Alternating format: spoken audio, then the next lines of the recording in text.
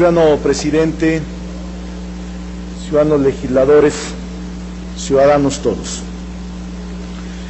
Si tuviéramos una democracia auténtica este día en este sitio, estaríamos escuchando de viva voz al titular del Poder Ejecutivo Federal, rindiendo un informe sobre el Estado que guarda la nación. El primero de septiembre no sería el día del presidente, ni el día del Congreso, ni el día de la protesta y la inconformidad, sino una fecha dedicada al ejercicio de una de las prácticas cívicas más importantes de una democracia auténtica, la rendición de cuentas.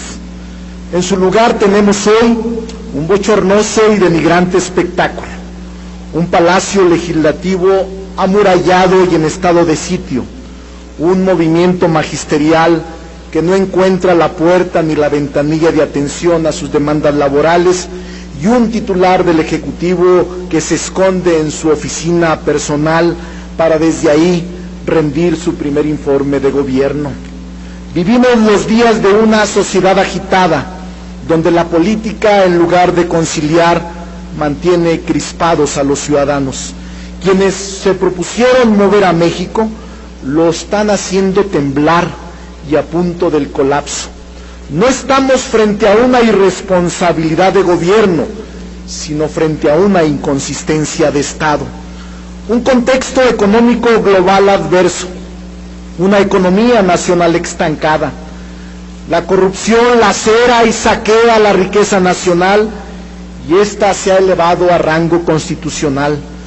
Comprar la presidencia de un país es la máxima expresión de corrupción política. Por ello, este gobierno está congénitamente imposibilitado para promover una comisión anticorrupción, una reforma a fondo a la transparencia o una política pública de rendición de cuentas. Regiones completas del país sumidas en la impunidad delincuencial, pueblos y comunidades sin ley, jóvenes sin escuela y sin trabajo, trabajadores y empleados a los que no les alcanza su sueldo, campesinos abandonados a su suerte, debatiéndose entre la miseria y la pobreza, amas de casa con bolsas del mandado cada día más raquíticas, un malestar creciente en las familias, en las escuelas y en las calles, conforman el cuadro clínico de una sociedad en efervescencia que dice, ya basta, y reclaman un cambio de rumbo. Hace apenas diez meses, el gobierno prometía transformar el país, no solo administrarlo. Para ello delineó una ruta crítica basada en un programa de reformas y en una plataforma de lanzamiento llamada Pacto por México. Diez meses después, ya no hay ruta crítica, sino una crítica a la ruta seguida por las reformas, mientras que el pacto pierde impacto y se desnuda su perversión y su cooptación política. No nos confundamos, el país no se está moviendo, se está despeñando.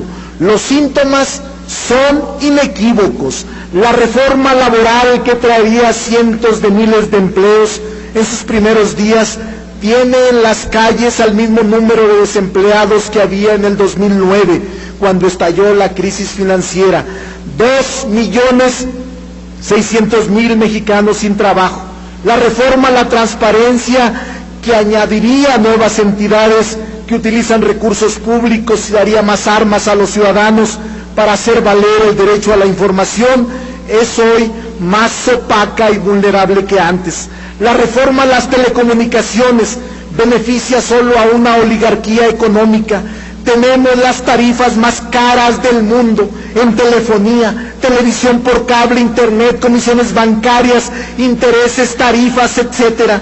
La nueva ley de amparo acota algunas de las prácticas abusivas de este noble recurso, pero sigue dejando en el desamparo a la mayoría de la población que no tiene medios para acceder a ella.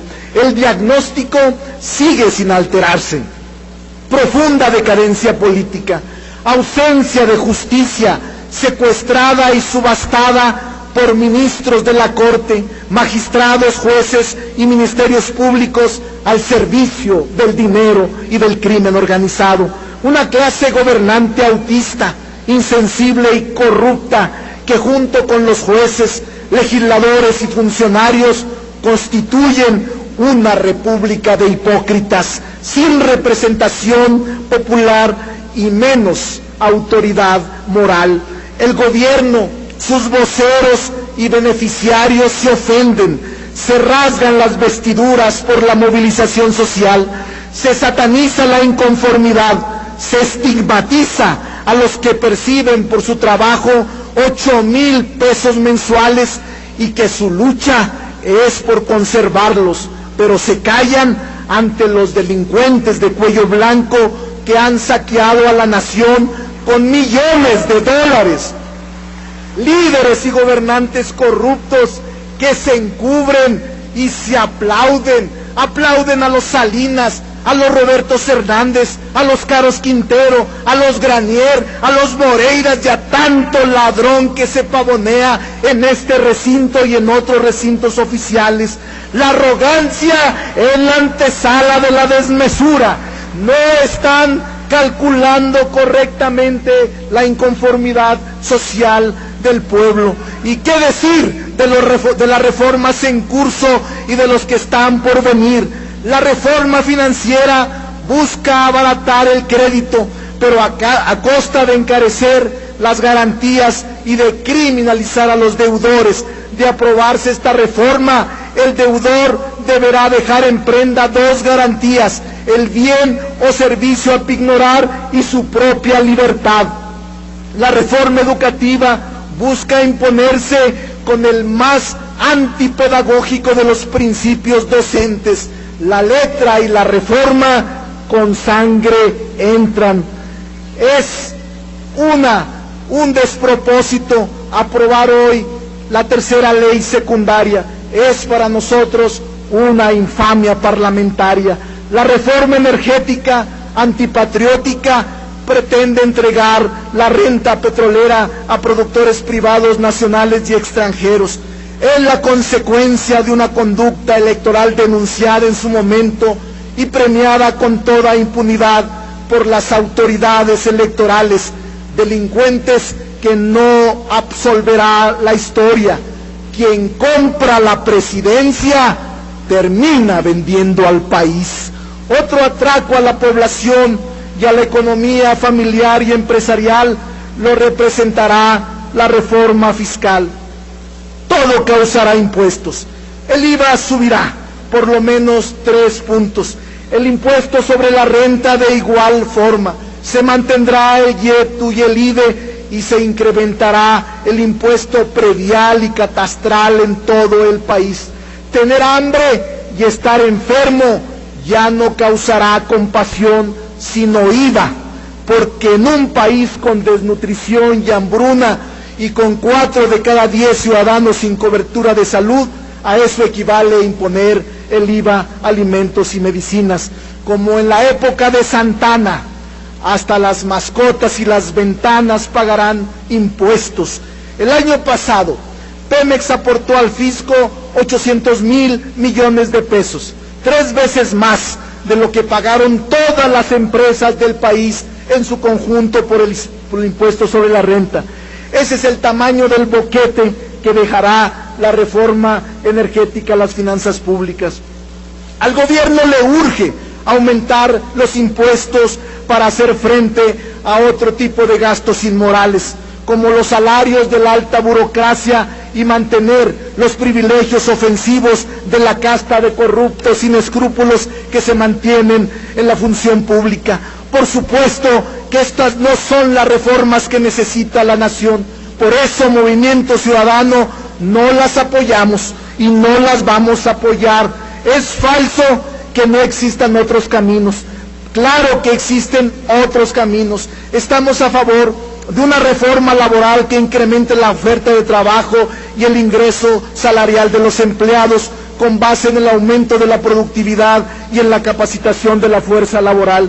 Estamos a favor de una reforma financiera que abarate el crédito, reduciendo el monto de las comisiones y los márgenes de ganancia de los intermediarios financieros, así como disminuyendo la carga fiscal a los emprendedores y a las pequeñas y medianas empresas. Apoyamos una reforma en telecomunicaciones que no solo abre el campo a nuevos jugadores, sino que esa competencia se refleje en la prestación de servicios más económicos y de mejor calidad para los usuarios. a la Asamblea, permítame, por favor, solicito a la Asamblea escuchar con respeto al orador. Habrá la misma tolerancia para todos los grupos parlamentarios. Continúe el orador. Gracias, ciudadano presidente. Buscamos también una reforma educativa también buscamos una reforma fiscal integral con una orientación más progresiva y redistributiva, que termine con los regímenes fiscales de excepción que fomentan la evasión y la ilusión fiscal. La historia del país registra dos tipos de reforma. De un lado son aquellas que han llevado a México al despeñadero y al estallido social, y del otro están las que han dado identidad, prosperidad y progreso las reformas borbónicas de finales de la colonia, las reformas porfiristas de finales del siglo XIX, las reformas salinistas del siglo pasado y las reformas que promueve la actual administración pertenecen al primer grupo. Todas ellas han ofrecido el mismo espejismo, modernidad, movilidad, prosperidad y el paraíso en la tierra. Todas ellas han generado el mismo desastre, una nación dividida, un país desigual, una sociedad confrontada y una economía más dependiente y vulnerable. En contraposición, las reformas del cambio verdadero no han provenido de arriba sino de abajo, de auténticas movilizaciones sociales y de amplios movimientos ciudadanos. Es el caso de la independencia, del juarismo reformador, de las revoluciones de 1910, del cardenismo del cardenismo original, no del cardenismo pirata y adulterado que hoy se publicita en la radio y en la televisión. Pocas veces la historia nos brinda la oportunidad de contrastar el mismo día dos proyectos de nación, dos visiones de país, dos formas de enfrentar los graves problemas nacionales como los tendremos el próximo día 8 de septiembre. Ese día está anunciada la presentación de la reforma fiscal. Con esa reforma fiscal el país pasará del estancamiento para entrar de lleno a la recesión y a la depresión económica. En contrapartida, ese domingo por la mañana en el Zócalo de la Ciudad de México, Andrés Manuel López Obrador presentará sus propuestas para que vean que no todo está perdido, que no todo está podrido y que hay alternativas, hay alternativas para sacar a la nación adelante. Por último, presidente, y atendiendo su tolerancia, nosotros a esos gritones les decimos, nosotros seguiremos de pie, luchando contra este régimen al que pertenecen, este régimen de oprobio, desigualdad, injusticia y corrupción. No todos los políticos somos iguales.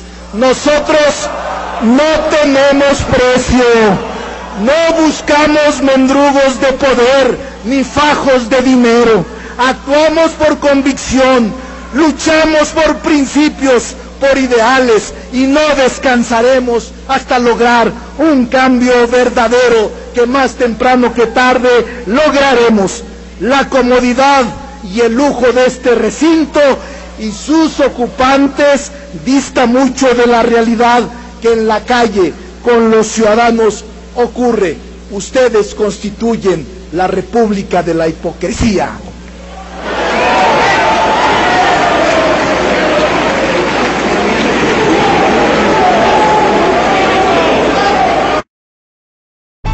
Faltan mordazas para callarnos a todos.